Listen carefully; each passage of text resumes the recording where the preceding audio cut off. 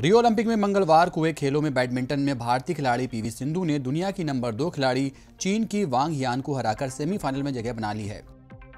तो वहीं कुश्ती के पहले दौर में तुर्की के इल्देम सेंग के हाथों से भारतीय पहलवान हरदीप सिंह को मिली हार ने ग्रीको रोमन में भारत की चुनौती समाप्त कर दी है।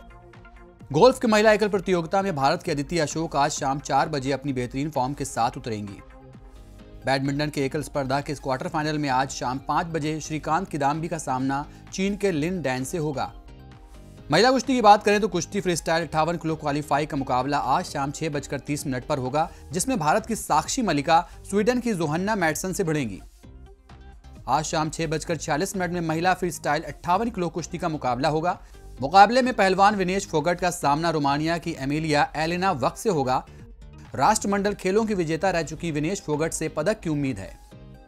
महिलाओं की 800 मीटर दौड़ के राउंड एक का मुकाबला शाम सात बजकर छब्बीस मिनट पर होगा, जिसमें भारत की शीर्ष महिला एथलीट टिंटू लुका चुनौती देंगी। 800 मीटर दौड़ में राष्ट्रीय रिकॉर्ड धारक और पीटी उषा की शिष्या टिंटू लुका से भारत को पदक की उम्मीदें हैं।